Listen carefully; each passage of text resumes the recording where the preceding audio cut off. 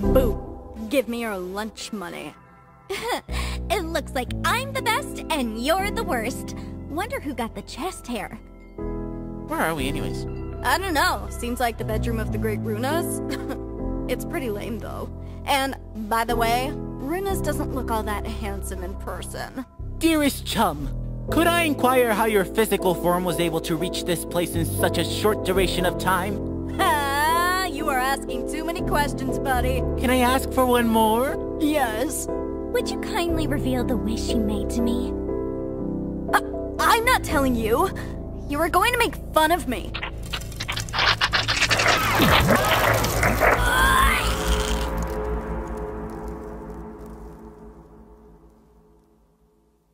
Cheese and rice, Moony! All right.